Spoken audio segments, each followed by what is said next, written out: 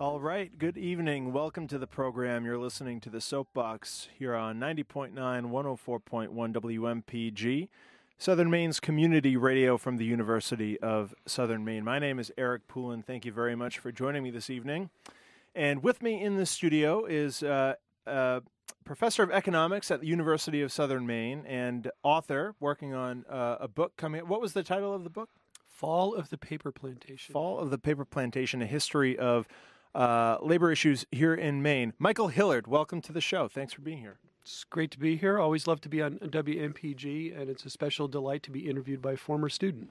That's right. Yeah, and you're a former host here at WMPG of uh, Big ten, Talk. Ten years on Big Talk. Yeah, great. So it's great good, years. It's good to have you back in the studio. Yeah, thanks. Um, so uh, this is uh, the community's airwaves here. So uh, you're very welcome to join the conversation. We have um, an economics expert here in the building. yeah, all you got to do is call 780-4909. That's right. 780-4909. Perfect. and especially, I want to make a shout out to any of my students, current or past, who are listening tonight. I did promote uh, my appearance here, and uh, don't feel shy about uh, showing off your knowledge of neoliberalism and asking a good question on air. Please do. This the, neoliberalism is an area that I, I feel like it's a little bit uh, hazy to me. So perhaps we'll we'll get there. Um, Sure. But uh, so, as we were just discussing, I'd like to sort of build on conversations that have been um, progressing over the course of the show here. In, and uh, as listeners may or may not know, we spoke to Dr. Richard D. Wolff, who will be here on campus on April 23rd.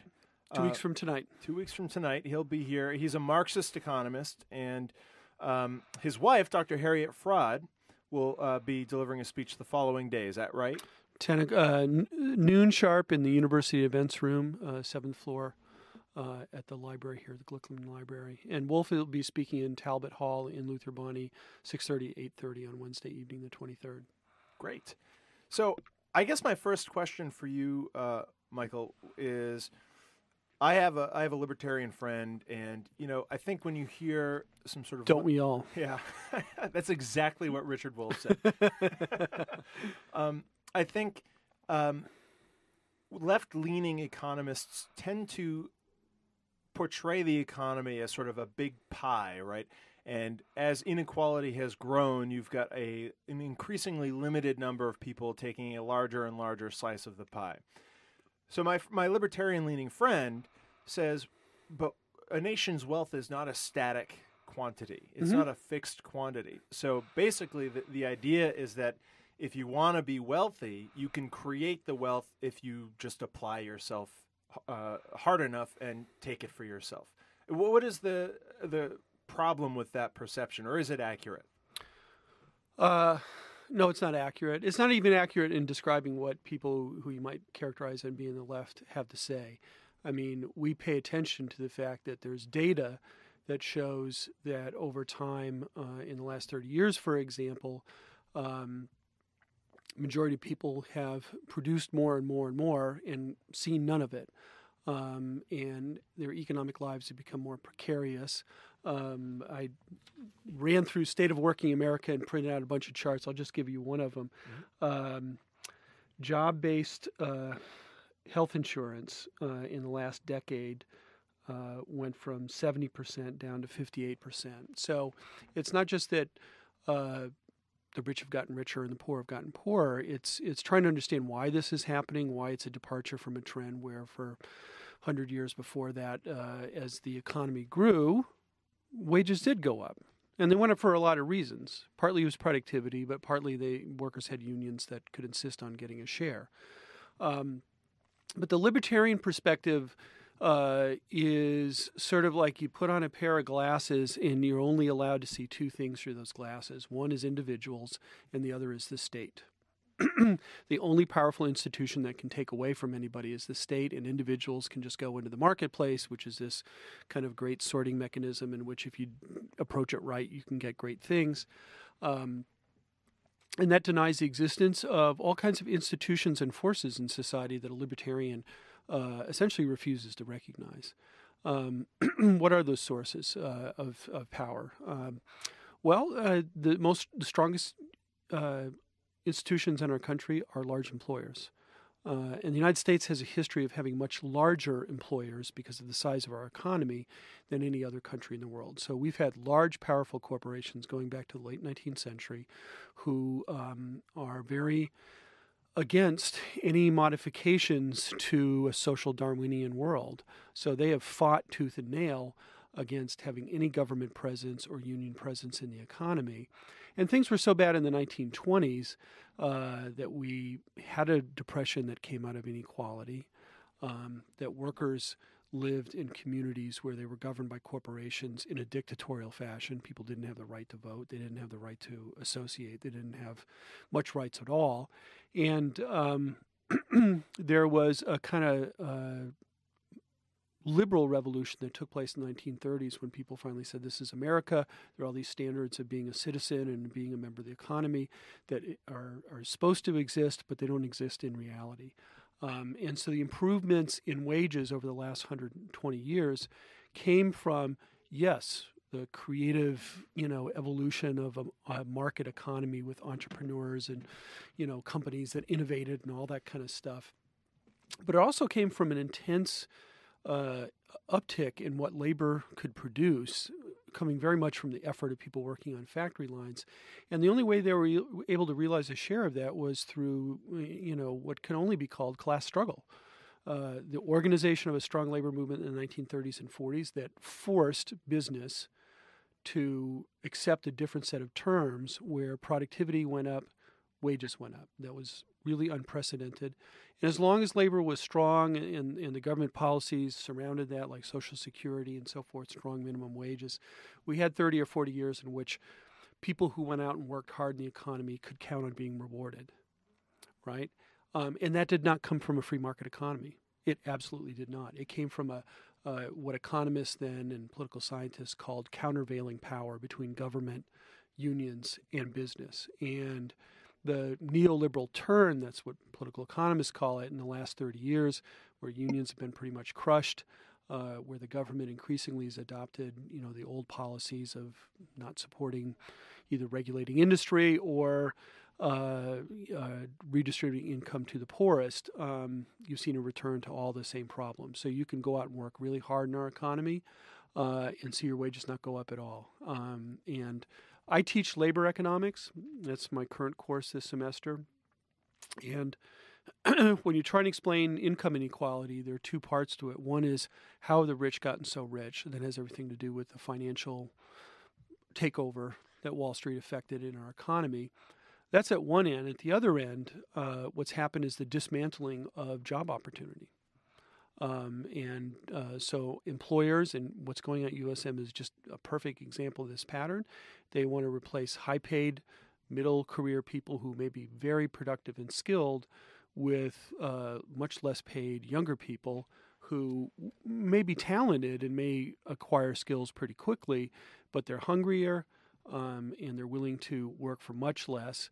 Um, and so, you know, out of that, whether it's the opportunity to move up in a job over time, whether it's the opportunity to get health insurance in your job, whether it's opportunity to, be able to build a retirement for you, all of those things have eroded dramatically in the last 30 years. Um, and so the idea, then you had the financial crisis and recession on top of that, and the idea that just by going out and pulling up your bootstraps, you're going to get ahead flies in the face the fact that many people out there pulling up their bootstraps and they're still naked, you know, they're still struggling. Right. Um, uh, the phone number again 780-4909 if you want to join in the uh, in the conversation. Um, so, Michael, I wanted to ask you about this too, particularly given your expertise and knowledge of uh, labor history. What, how, how do you see it in terms of what's happened in this country with the general public's, particularly working people's antipathy to unions? What has happened to change their perspective. Uh, I mean, even just recently, uh, I forget which auto company it was. Volkswagen, Chattanooga, Tennessee. That's right. And they tried to unionize, and it was voted down by the yeah. workers. So, what is the story behind this antipathy? Well, you know, uh, again, if you look at it as something that's evolved over history, and it's in the context of institutions that have power, Um, it's not like just people are going out in the town square with their flyers and you know and debating in local libraries. That's not what happened. What happened in the United States is that, um, you know, my origin story starts with with the New Deal, and the New Deal, as I talked about, was a moment when unions uh, got strong, when government stepped into the failure of the free market system to revive it. Right, that's what happened. The Great Depression was the failure of the free market system, and when government and, and, and unions, labor unions, gain power, and where popular support in much of the country was with labor, big business looked at this and, and to them they were horrified. And they're like, well, what can we do about it? Well, politically, they couldn't do much about it in the short run because somebody like Eisenhower was going to accept Social Security and the right to unionize and the government legislation that gave workers the rights to unionize. Um, so, borrowing from a very uh, important, uh, widely cited um, Italian Marxist intellectual named Antonio Gramsci, who wrote the theory of uh, political hegemony in the early 20th century, uh, he had this concept of a war of position. And a war of position is one in which uh, you're not in a position to go out on the battlefield. So, kind of behind the lines, you're trying to create the conditions to be able to win the war. And that's what American business did in the 1950s, 60s, and 70s. And what they set out to do was um, to first build up uh, uh, right wing anti union um, economics. Mm-hmm. Uh, and they funded uh, Friedrich Hayek and the Chicago School and all these very, very free market, anti union, anti government economists at all the highest levels in academia who went out and destroyed economies in other countries, right? Yeah, I mean, you know, if you read like uh, Naomi Klein's Shock Doctrine's got a good account of it. I mean, yeah, the you know, dictatorship was imposed, you know, through the murder of a democratically elected president in Chile in 1973, mm-hmm. and a bunch of Milton Friedman students went down there to do their little plaything of, uh, you know, imposing free markets on it and causing a lot of inequality and disruption to this society. Uh, we tried to do the same thing in Iraq mm-hmm. uh, which was a, a, hilarious disaster of some proportions. Um, so, uh, so they built up a, a, a, an intellectual infrastructure of anti-unionism and anti-government thinking. They built up um, political networks, uh, very much centered around uh, Goldwater. Um, and there's these terrific books that are coming out by historians that are trying to understand the decline of labor and the rise of conservatism. And there's so much of it. I mean, I go to conferences and I meet and I'm on panels with all these authors because I write about this subject. Uh, but I teach entire classes on this because there's so much to learn about it. Mm-hmm. So there's this huge picture of all the different parts of it. So they, they use Goldwater as a uh, as an attractive spokesman. Um, and they also cultivated one of the great um, progenitors of this, you know, anti-union, anti-government uh, ideology was a guy named, named Lemuel Boulware, who historians have known for a long time. He was the Mm, director of labor relations at General Electric, and he got brought in after a strike was lost to the union in 1946. And he came out of a marketing campaign background. He was a marketing expert, mm-hmm. and he created this, you know, system of ideological domination within the workplace with 200,000 employees to just drench them in this free market. You know, uh, unions are communism. Uh, the market is the only thing that matters, kind of thing. And uh, along the way, he he said, you know be really good to have like an internal, you know, spokesman, somebody who's charismatic. And he hired this washed up actor named Ronald Reagan. and so Ronald Reagan got his career as an anti union spokesman in one of the largest companies in the country that uh, produced textbooks that everybody who was an employee had to study these textbooks. And it was all just, you know, gibberish about uh, unions are a worse, a bigger threat to American way of life than the Soviet Union. And Reagan began his political career essentially as an informer during McCarthy era. Well, you, you, know that was a feature of what he did, but but him becoming like the uh, the you know the cipher, the voice for um, this new ideology that was a take no prisoners. We're gonna we're gonna we're gonna conduct a long war in which we're gonna ideologically defeat the idea that anybody besides business has a place in society mm-hmm. at the democratic table. Uh, and we need to construct a, a, conservative movement, and that was a much larger project. How do you get you know workers to be have antipathy towards unions? One of the things they did is that they funded uh, politically this effort to stigmatize unions as being uh, mobbed up And they used the very visible Im- image of Jimmy Hoffa, who was pulled by uh, some right wing people in front of Congress in the 1956 57 era and held up as an example of, you know, this, this corrupt uh, person. Um, you know, they, they first went after unions for, for being directed by communists. They got rid of all the communists. They routed, routed them out of union, put a lot out of unions, put a lot of them in prison in the early 50s. Um, but the majority of American unions were actually politically moderate or conservative. So how do you go after the construction trades? Well, you say that they're all mobsters, and it turned out like maybe three percent of the American unions had had mob control which was a detriment to the workers. It was not something like the workers were like, "Hey, we have a right to be a mobbed up union." They they didn't like it either. Um, but it was an exception rather than the rule. But there was, you know, kind of the Bill O'Reillys of the day who had places in newspapers where 10 million people would see on the front page, um, you know, the same anti union columnists who just made up all these lurid stories. So, you know, I would say that so much of this has to do with a, um, you know, if we have the richest, largest, you know, employer class in the world and have had it all along and if they have spent 60 or 70 years trying to fund an intellectual and uh, public relations war against anything that has to do with labor, um, it's not surprising that over time that they've actually won. Mm-hmm. Um, and they've won to the point where once you get rid of unions, people don't have experience with unions. What do they know about unions? They hear some stories and they see some things on TV. So recently I had my students look at the question of uh, food stamp abuse uh, because Jon Stewart did this wonderful thing. Uh, uh, well, actually, no, I'll say Fox News did this wonderful thing, which is, you know, the food stamp program has grown quite a bit because there are so many poor people after the Great Recession, right? And we're a country that that has a program that says that we don't have people starve because we have more food than we know what to do with, right? Uh, it's just kind of all a no-brainer. Um, but you know, the Tea Party faction of the Republican Party and Fox News and all those folks, they just, you know, food stamps is all about somebody who goes in and somehow or another walks out with, you know, Allen's coffee brandy and a carton of cigarettes instead of food or maybe a few, you know, cupcakes or whatever. And then they go out and get in their BMW and drive off. And this kind of urban legend is one that they have so much fun with because people, I mean, you know, my students all know know the story and a lot of them believe it. Mm-hmm. And I had him research, you know, what was actually going on. But the, the kind of beautiful part about it is that the way in which Fox portrayed it is that they portrayed, uh, they found a guy who was a surfer in California uh, named Steve Greenstone or something like that, who's an aspiring rock musician. And he was just really proud of the fact that he got food stamps and that he bought lobster, frozen lobster with it. And so they held this guy up as this is what the American food stamp program is.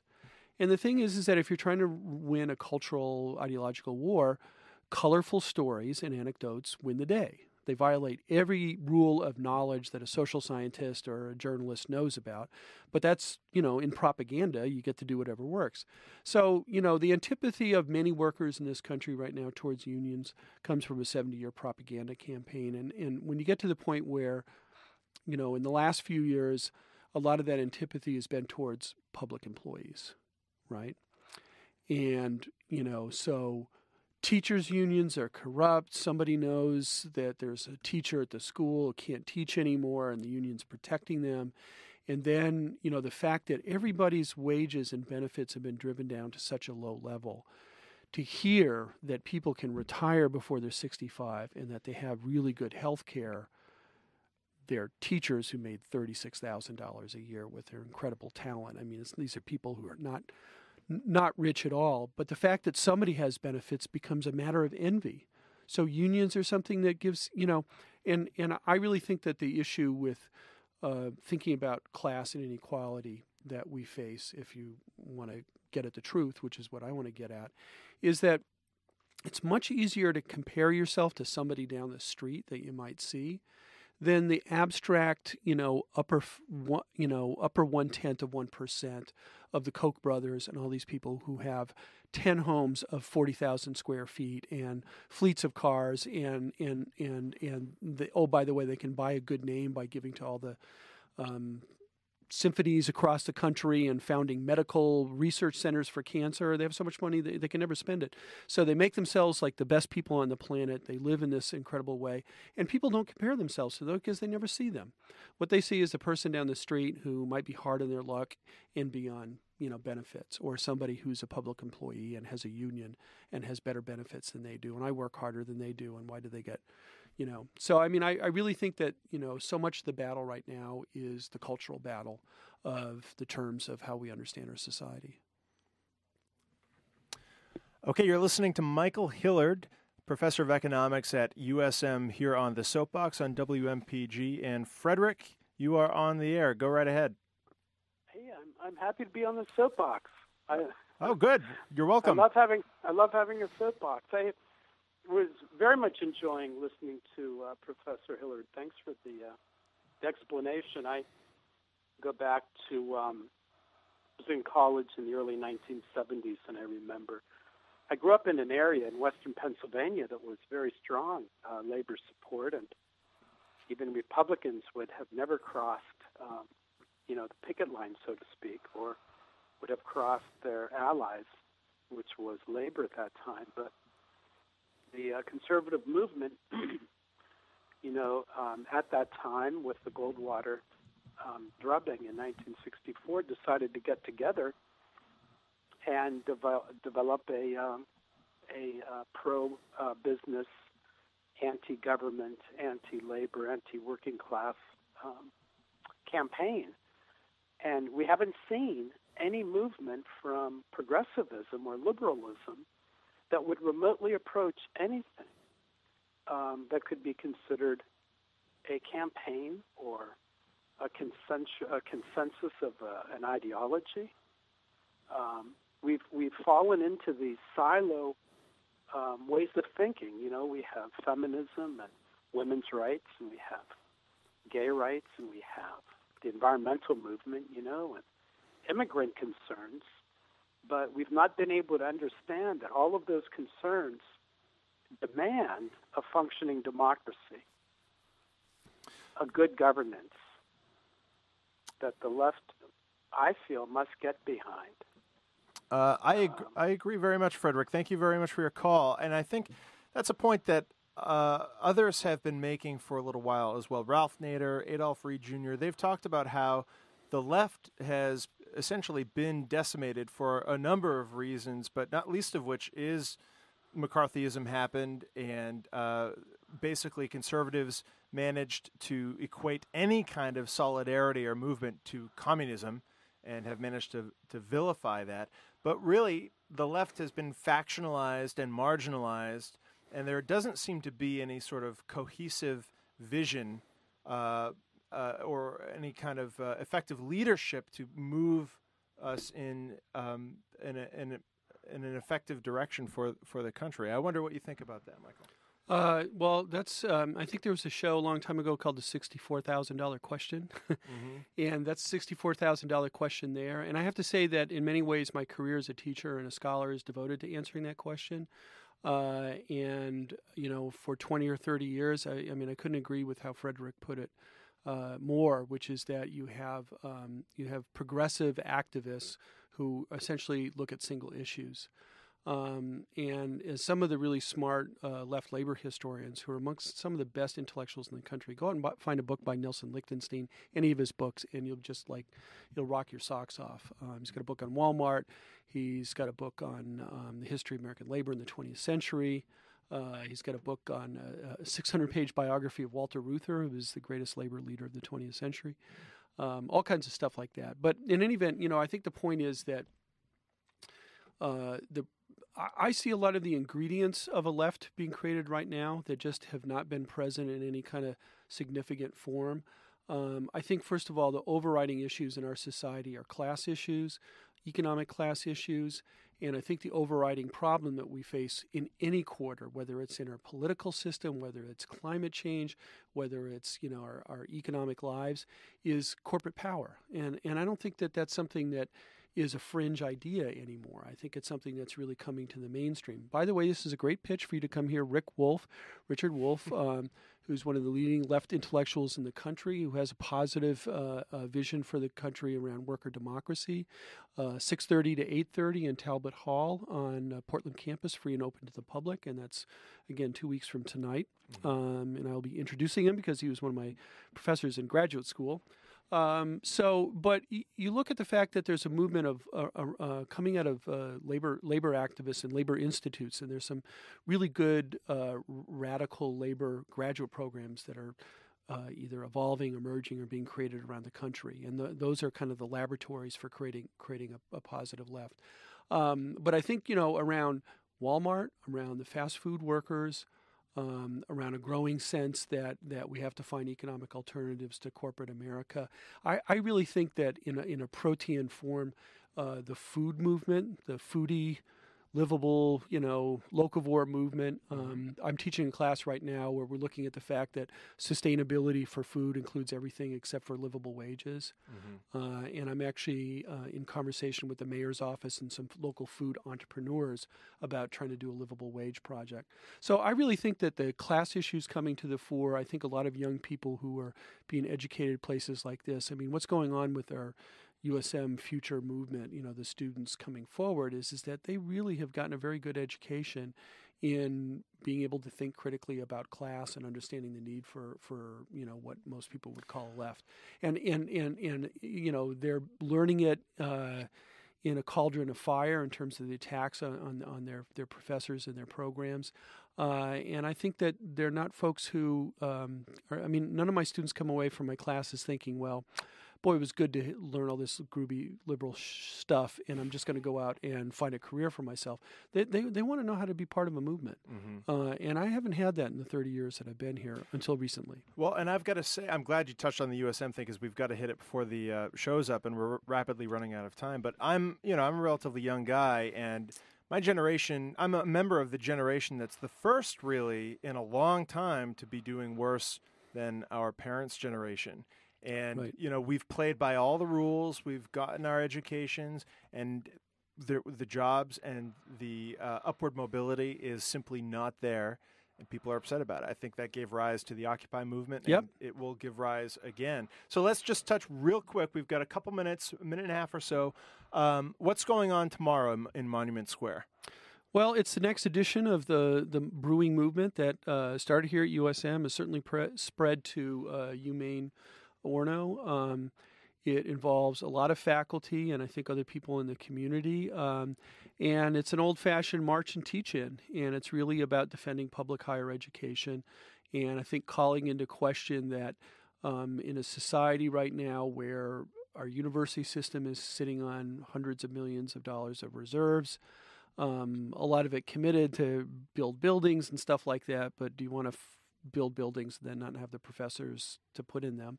Um, we're what we just heard that there's a 1.1 billion dollar destroyer that's going to be built at Bath Iron Works for what you know to defeat Al Qaeda out in the, on the high seas. So you know we're in a situation where we're still the richest country in the world. Our GDP per capita is fifty thousand dollars per person. Um, there's the wealth there to support higher education we used to be a society that believed in doing great things in part through government. That was the 60s, 70s, 50s after World War II, fighting the Cold War, putting a man on the moon. Uh, and I think this young generation here that I see are recognizing a need that if they want to see a society like that, they got to go get it themselves. And I think that's what that rally is about. Well, thank you very much, Michael Hillard, for being here. It's a pleasure. We'll have to have you back because there's a lot more to talk about. Um, I, I always think in complete 30 minute thoughts, so I'm happy to come back and do it again. And uh, again, that's tomorrow. The uh, the uh, teach-in and protest will be happening in Monument Square. There are free buses for faculty. Can I students. can I make a correction? My yes. understanding is is that it's starting um, at Longfellow Square. Oh, okay. Uh, and there's going to be a march down Congress Street, and they're going to wind up at Monument Square. So if you're there at noon, I think you're supposed to be at uh, about Monument Square, and you can go to at uh, at Maine Future hashtag Main Future rather okay. to find that. Great. And there are buses for faculty and students if they want to, leaving from the Woodbury Campus Center, and it will it will transport. Yeah, them. Qu- quarter of uh, 12 and 12. That's right.